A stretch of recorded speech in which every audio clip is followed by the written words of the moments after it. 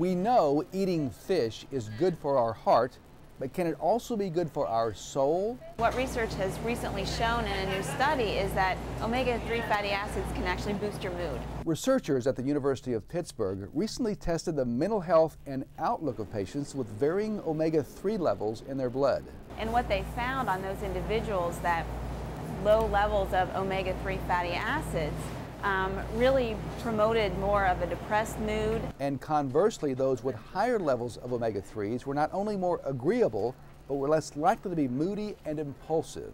Why? particular type of omega-3 fatty acid, DHA, we know is very important for brain development and brain function.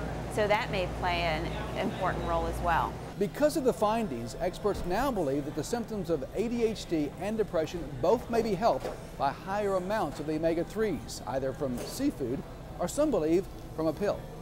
Now, that all may sound fishy, but many in the medical community are not surprised. I'm not surprised because we know that omega-3 fatty acids actually have a lot of important roles in decreasing risk of disease with other research that's out there right now. For Baylor Healthcare System, I'm Dr. David Winter.